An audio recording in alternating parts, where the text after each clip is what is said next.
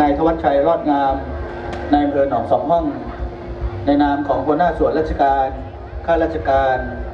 ผู้บริหารองค์กรปกครองส่วนท้องถิ่น กำนันผู้ใหญ่บ้าน พ่อค้าประชาชนชาวอำเภอหนองสองห้อง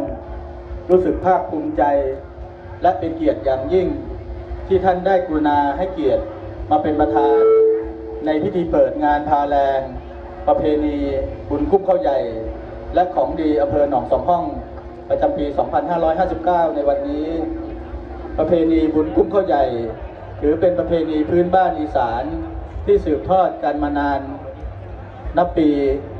งานบุญคุ้มข้าวใหญ่ หรือบุญคุณลาน เป็นประเพณีทำบุญที่ชาวนาเก็บเกี่ยวข้าว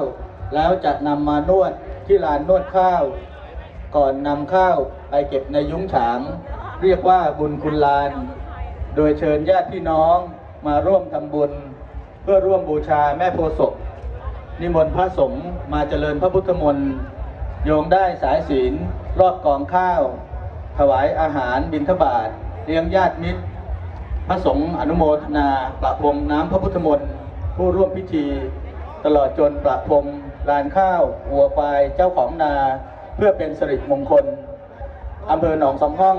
ได้กำหนดให้มีการจัดงานบุญครบบุญกุ้มข้าวใหญ่ และของดีอำเภอหนองสองห้อง ประจำปี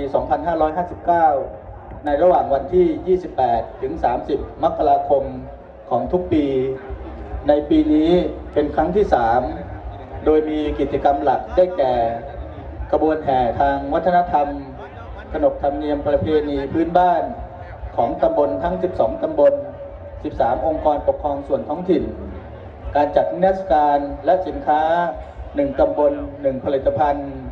การประกวดผลผลิตทางการเกษตร และงานพาแรงในค่ำคืนวันนี้ การจัดงานครั้งนี้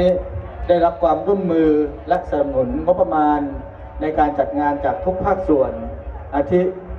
องค์การบริหารส่วนจังหวัดขอนแก่น เป็นเงิน 150,000 บาท องค์กรปกครองส่วนท้องถิ่นทั้ง 13 แห่ง จัดขบวนแห่ทางวัฒนธรรม ชมรมกำนันผู้ใหญ่บ้าน อนุเคราะห์การจัดสถานที่และการรับบริจาคข้าวเปลือก นอกจากนี้ก็มีการไฟฟ้าส่วนภูมิภาคหนองสองห้อง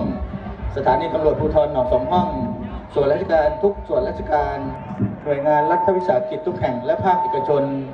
บัดนี้ได้เวลาอันสมควรแล้วกระผมขอกราบเรียนเชิญ ท่านรองผู้ว่าราชการจังหวัดขอนแก่น